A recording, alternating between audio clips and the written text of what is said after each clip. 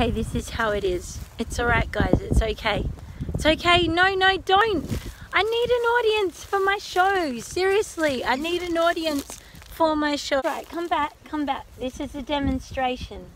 This is of how you actually sing to a crowd, alright?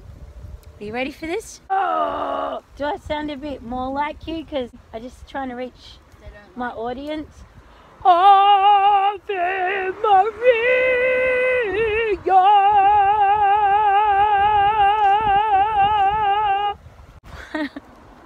One of them drooled over me. That felt so good.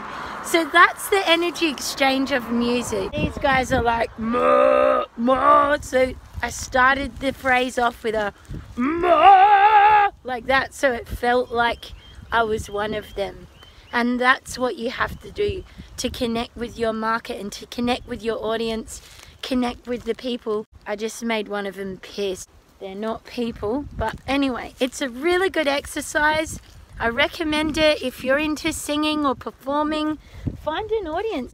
There they are, you know, there.